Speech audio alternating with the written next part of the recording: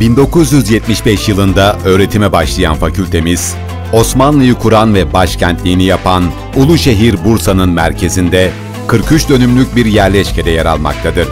Yerleşke içinde dekanlık bloğu, dershane bloğu, kültür merkezi, uygulama camii, gençlik merkezi ve geniş, bakımlı bir bahçe mevcuttur.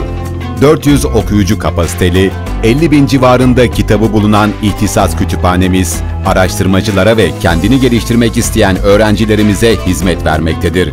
600 kişilik yemekhanemiz, kantinimiz ve bahçemiz, öğrencilerimizin sosyal ihtiyaçlarını karşılamaktadır.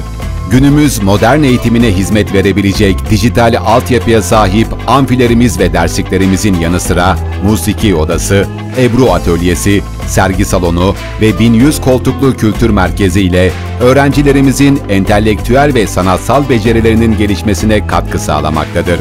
Fakültemizde 36'sı profesör olmak üzere 138 öğretim elemanı hocamız bulunmaktadır. İlahiyat bölümünde temel İslam bilimleri, felsefe ve din bilimleri ile İslam tarihi ve sanatları alanlarında ilmi çalışmalar yapılmakta. Bu çerçevede eğitim öğretim verilmektedir. Fakültemizde Erasmus, Farabi ve Mevlana programları mevcuttur. Bu programlar çerçevesinde hem ülkemizdeki hem de yabancı ülkelerdeki üniversiteler arasında öğrenci değişimi yapılabilmektedir. Bu kapsamda her dönem karşılıklı öğrenci ve öğretim elemanı değişimi yapılmaktadır. Ayrıca aynı öğretim süresi içinde yıl kaybı olmadan üniversitemizdeki iki ayrı fakülteden diploma alabilmeyi sağlayan çift ana dalda öğretim imkanı vardır.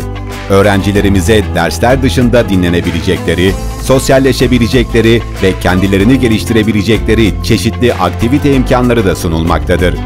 Çok çeşitli faaliyet alanlarında kurulan öğrenci toplulukları bu faaliyetlerin motor gücünü oluşturmaktadır.